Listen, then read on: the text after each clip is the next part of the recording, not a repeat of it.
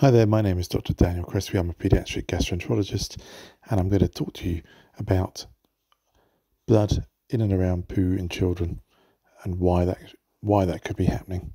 It's a rough guide for parents. Just as a disclaimer, this is not a substitute for your child having a thorough clinical examination by a medical practitioner. Always seek medical help or attention if you've got concerns about your child's health. So, when your child or you see blood for the first time with poo, it can obviously be a shocking or alarming experience. The amount of blood can really vary. It can be small little streaks of blood in looser stools in a baby who looks very well, or it can be a much larger volume of blood that's either on or in or mixed in with the poo or on the tissue paper or in the toilet bowl, or the poo can look very abnormal and a dark black like substance called melena. The blood can come from anywhere along the GI tract. The digestive tract is a very long tube, many meters in length, and the upper region goes from the food pipe to the stomach to the small intestine, and there's a lower region as well.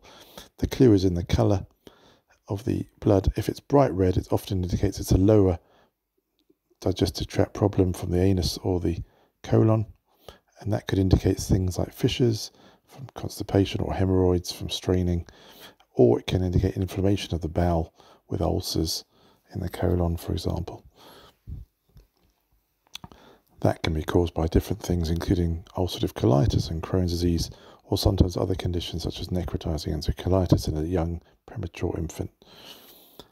If the poo is very dark, and tar-like with a distinctive smell.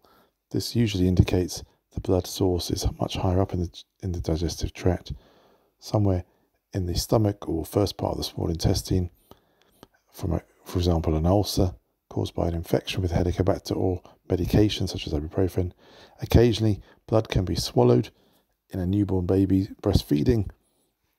That could be the case, in which case the blood is not its own blood, but more from the mother's nipple that's been traumatized at some point. A first crucial step is assessing your child and working out if they look well and reasonable enough compared to their normal day to day behavior or they look unwell. In which case, that will dictate your next step of seeking medical attention much more quickly. There may be other issues you've been worried about or your child's told you about that could include significant tummy pain, or there's pain around the bottom with straining, which may indicate something simple like constipation. They may have fever and vomiting and diarrhea, which could indicate an infection of some sort, but there are features of the vomiting which could be more alarming, such as blood or bile, again, which would point towards you needing to seek more rapid evaluation. Black stools, known liver disease, or other medication use may indicate other problems.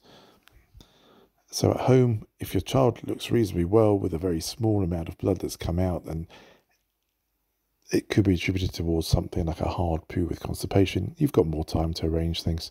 It's often useful to take a photograph of the poo and the blood, just as a record to show the doctor if you see them. If your child looks in any way unwell, with looking pale or under under the weather with inactivity or fever or any of these other alarm features, and head straight to the emergency department for an evaluation. The doctor there will review things, go through the story with you in much more detail, ask you about how often and how long this problem has been there for, and then they may look to evaluate with a, physical examination as well, which would normally also include a look at around the bottom area to see if there's any source of bleeding there, such as a fissure or a skin tag or other infection, for example. If they've thought this is due to something relatively innocuous like constipation or suspected allergy, they may say go home and treat it. But if they are worried about your child being unwell, they'll admit to the hospital and aim to improve the situation with resuscitation and then make appropriate investigations and referrals to the relevant teams. The cause of blood with poo can really vary with age. A common cause, though, and probably the most common cause across all the age groups, is constipation causing a fissure and sometimes a hemorrhoid in that region. Other Common causes can be infections, especially when there's vomiting and fever, and it's a short onset history of diarrhea. But with more chronic symptoms, other conditions should be considered as well. If there's no diarrhea and the, and the blood comes and goes, especially in younger children from about the age of 3 to 10, a polyp may be the cause. These are usually quite harmless. Other conditions in children who generally are much more unwell and often will need a surgical intervention to help include Meckel's diverticulum and intussusception, where parts of the bowel telescope into one another, cutting off the blood supply, a very dangerous condition. In a very young premature infant, necrotizing enterocolitis can be a cause of this as well.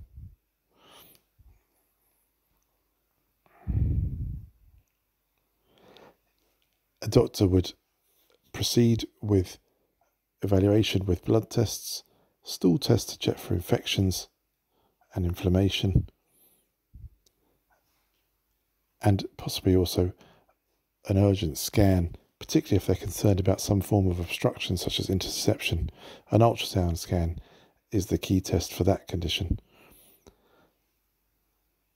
If your child's got chronic issues with bleeding, possibly diarrhea, weight loss, abdominal pain, or just rectal bleeding intermittently, then an endoscopy looking at the lower bowel may be important test to do next.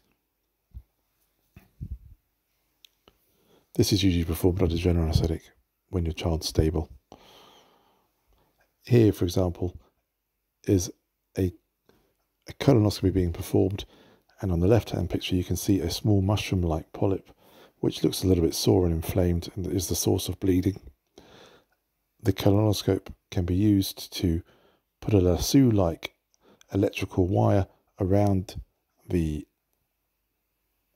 polyp and then snare it and then cauterize it and remove it so that the picture on the right shows you the bowel without the polyp there anymore and that can be analysed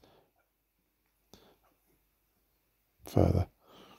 Follow up for children with gastrointestinal bleeding depends really on the cause and if any interventions already been put into place. It, something simple like constipation would need treatment with laxatives for some time. Cow's milk allergy, for example, would need a modified diet with the aid of a paediatric dietitian supervising that. Polyps, if just one or two, may just need to be removed and your child can be discharged from further follow up, but just with you keeping an eye out for recurrence of symptoms. Other conditions such as inflammatory bowel disease do need long term follow up with a multidisciplinary team. And this follow up can occur with a GP or paediatrician or any one of several other specialists.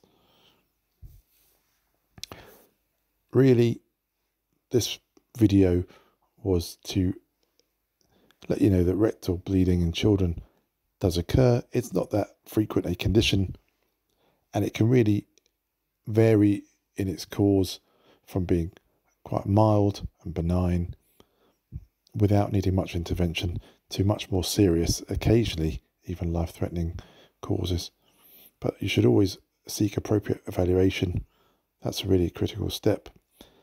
And if you've got concerns or worries, then do definitely seek medical attention about your child